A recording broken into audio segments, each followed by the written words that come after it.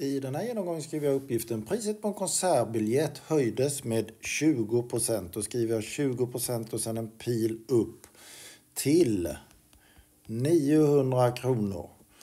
Och då ska vi i A teckna, äh, vilken är förändringsfaktorn? Och har du glömt det här med förändringsfaktor, gå då in på dallesmatte.se och kolla genomgång på procent och förändringsfaktor och även kanske hur vi löser ekvationer med hjälp av balansmetoden.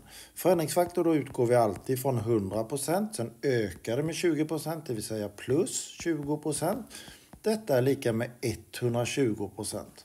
Och förändringsfaktor är decimalform och 120% är lika med 1,20 i decimalform. Här har vi förändringsfaktorn 1,2 eller 1,20 om du hellre vill säga det. I B-uppgiften så ska vi teckna en ekvation och räkna ut vilket priset var innan höjningen. Då så tar vi 1,20, det är ju förändringen, förändringsfaktorn, gånger x och det ska ju då vara lika med, för vi vet vad det ska bli, det ska vara 900. Jag utgår egentligen från andelen, det är lika med delen dividerat med det hela. Och så får man lösa ut det man vill, vill svara på vad som står i uppgiften. En sån här ekvation, 1,2 gånger x är lika med 900, motsatt räknesätt i multiplikation, ska vi kunna lösa nu utan problem. Då dividerar vi med 1,2 eller 1,20 då måste jag göra exakt likadant på andra sidan om likhetstecknet.